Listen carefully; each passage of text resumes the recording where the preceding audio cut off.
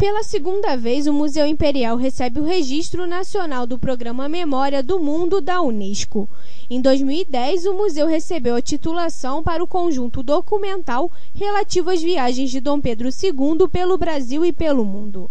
Agora, em 2012, foi a vez da coleção Carlos Gomes, que reúne 285 itens, incluindo fotografias, documentos textuais, gravuras, desenhos, livros, periódicos, folhetos e uma pintura.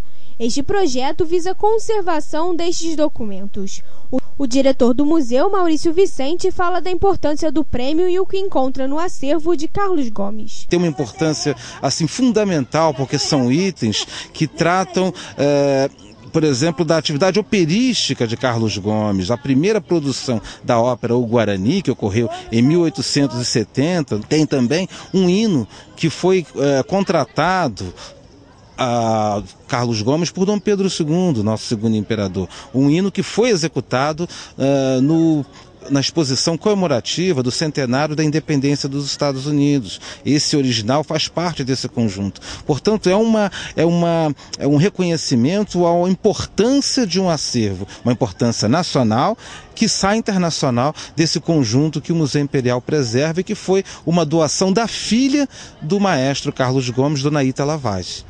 Além da coletiva sobre o Registro Nacional do Programa Memória do Mundo, a coleção Carlos Gomes do Museu Imperial, o presidente do IBRAM, José do Nascimento, anunciou um investimento aqui.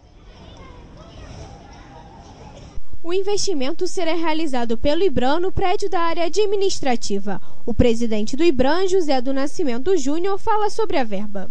A verba de 1 milhão e 200 mil reais que é do Ministério da Cultura, do Instituto Brasileiro de Museus. O Museu Imperial é uma unidade do Ministério e do IBRAM para requalificação, ampliação da reserva técnica, ampliação dos laboratórios, da área dos arquivos, e assim a gente vai poder disponibilizar um melhor serviço para a população, para os pesquisadores, eh, dando assim uma dimensão cada vez mais nacional ao Museu Imperial e qualificando os serviços que o museu já presta. E essa verba já está sendo liberada? Já está sendo liberada e uh, já está o processo, inclusive, uh, licitatório em andamento na jurídica do próprio IBRAM, para que a gente já possa, até o final do ano, já começar a obra da ampliação da reserva.